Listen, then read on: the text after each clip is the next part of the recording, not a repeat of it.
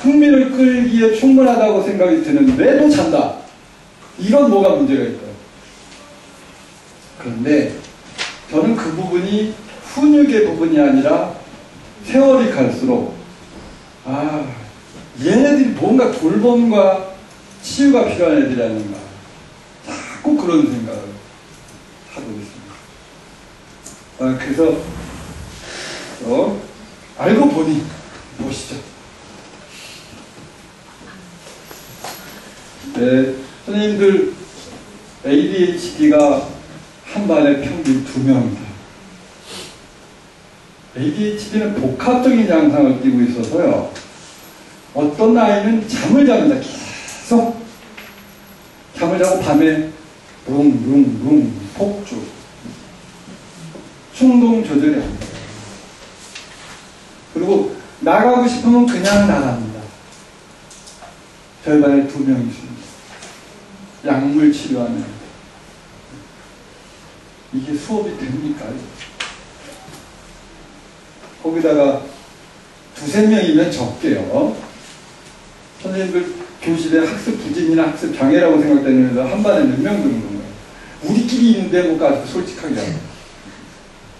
영어임에도 불구하고 네, 셋을 여섯?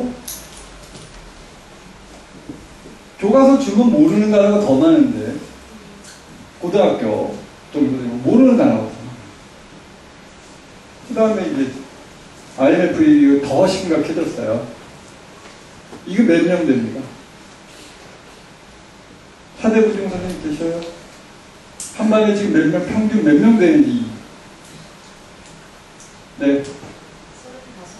어, 아이 그 중에, 그 아이들 중에 별거나 이혼, 이런 가정의 문- 불화를 가지고 있는 집들. 두세, 두세 명? 두세 명이 굉장히 양호하게 적은 거죠. 전국 평균은 한 반에 4명까지.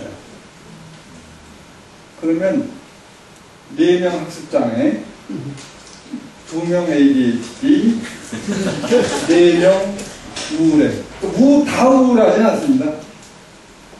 가정에 문제가 있다고 다 우울한 건 알지만 문제 그 문제를 겪고 있는 가정의 3분의 2의 아이들은 심각한 우울을 겪고 있더라고요.